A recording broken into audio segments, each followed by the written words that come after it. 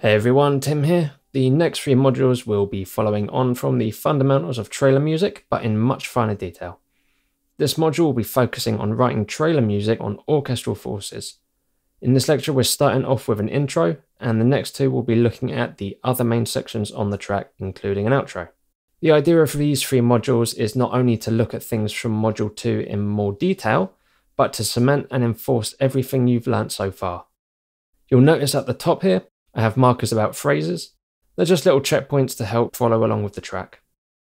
So what is a good way to start a successful orchestral track? Let's start by taking a listen.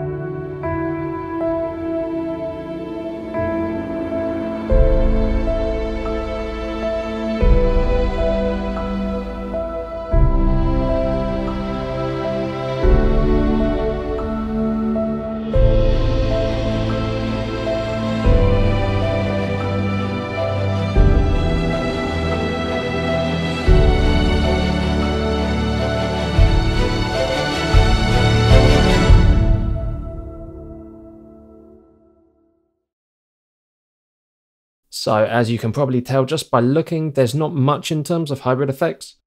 If we want this to be an orchestra driven track, then that's something we need to think about as we're writing. Otherwise, it will start to delve into hybrid trailer music territory.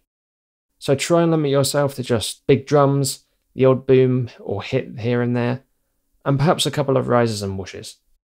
This is still trailer music, so we need to include some hard hitting effects. Just make sure that they're sounding clean and they're not too heavily processed. The most important thing to consider when writing any kind of trailer track is to find a pattern and stick with it.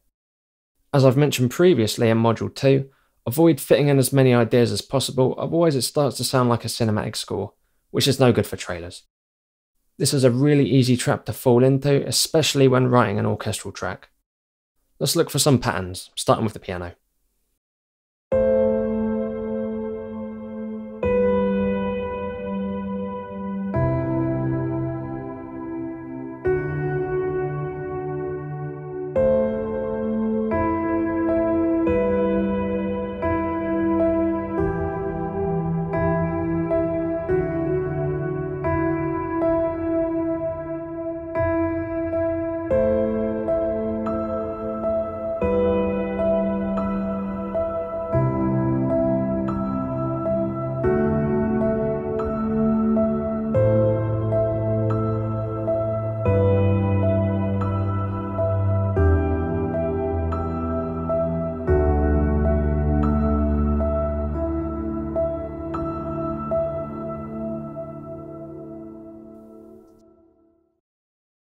So we start our piece really simple, an 8 part chord progression with 2 notes per chord. Essentially, this can also be considered two 4 bar chord progressions, as I'm repeating the first and last chords and replacing the middle two chords with chords that share similar notes, so it's more variation. Each phrase I add a new element to the piano. The first time round, bar 9, is two E's an octave apart on beats 1 and 5 every other bar. The second time round, bar 18, is a variation on the octave apart E and thicker chords. The third time round is only slightly different following the chord structure. This is all about development and doing it little bits at a time can go a long way.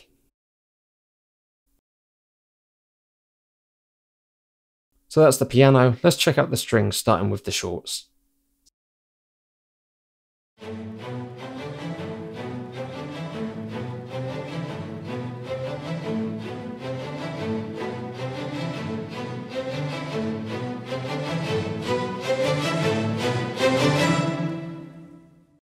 A one bar pattern and repeated it, very simple.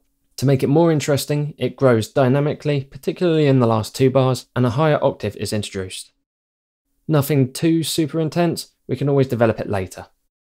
The purpose of these is introducing the main rhythm of the track. The 7-8 pulse is now clear. Let's check out the long strings.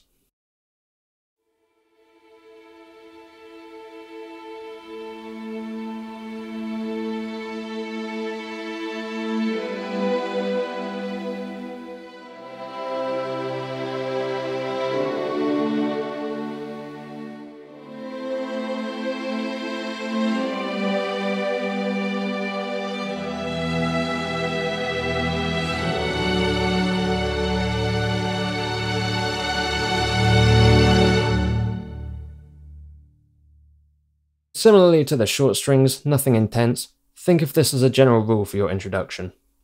To make things flow better with each other, I'm bringing them in 4 bars earlier than the start of the next chord progression. Strings are less overpowering than brass, relatively speaking, which makes them far more versatile. I'm using the long strings in the intro to back up the chord progression we first heard in the piano. Again, we're building dynamically and building the chords further up the range of the instrument. Check out the dynamics here, how they swell in and out every two bars. This is a pretty solid technique in all kinds of music, not just trailer music. It adds so much more realism than just having them all the same dynamic, and it also allows the track to breathe a bit more.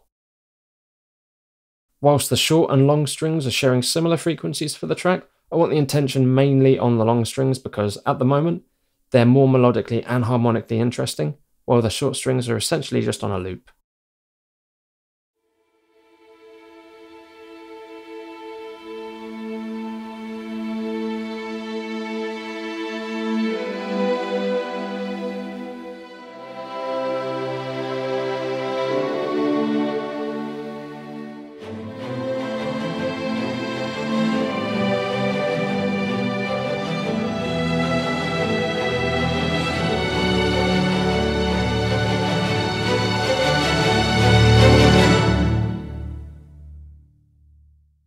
And this leaves us with percussion.